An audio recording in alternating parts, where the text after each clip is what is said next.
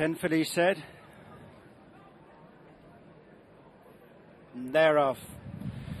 They break away in the Coolmore Gleneagles Irish EBF Athasi Stakes Group 3, run in memory of the late Brendan Norris. And it's I Remember You in the pink jacket, taken on by Rianook as they make their way towards the elbow. They're tracked by Foxtrot Live, Drumbeg Dream, Lucita's on the outside of the grey titanium sky.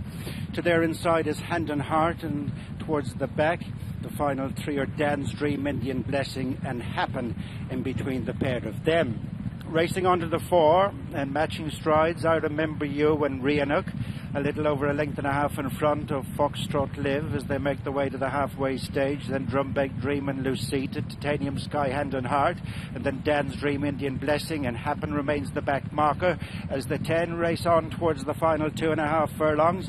And it's Rianook on the outside of I Remember You. They're tracked by Foxtrot Live in the orange and blue. Drumbeg Dream is next, then Titanium Sky. Dan's Dream is trying to stay on the outside of Hand on Heart, and then comes Happen racing towards the final furlong and a half. And Rianook has slipped on a couple of lengths in front. Dan's Dream on the outside is staying on well. Then Titanium Sky and Foxtrot Live inside the final 150 yards. It's Rianook all out from Dan's Dream. Here comes Happen on the outside with a wet sail as they run to the finish. Happen on the near side of Dan's Dream. The heads went up and down.